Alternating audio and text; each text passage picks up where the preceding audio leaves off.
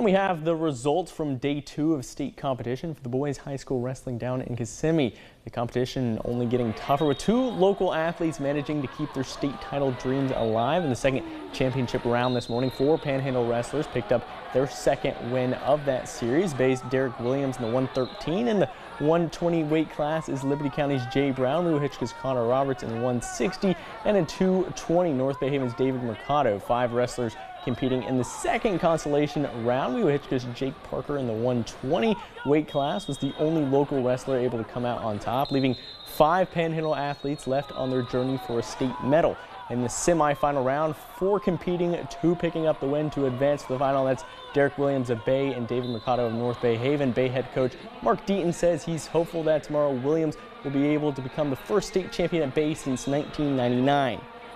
But I've never coached a state champion. Um, my son, between my son and my nephew, we got every medal in the state of Florida but first. So it's uh, it's it's really something I'm looking forward to, and I'll be on pins and needles. I'm going to buy a suit tonight because you wear a suit in the finals, and hopefully I look sharp in it when Derek raises his hand for a state championship. The final day will begin tomorrow morning at 9:30 a.m. Consolation semifinals wrapping up. The final matches concluding tomorrow evening.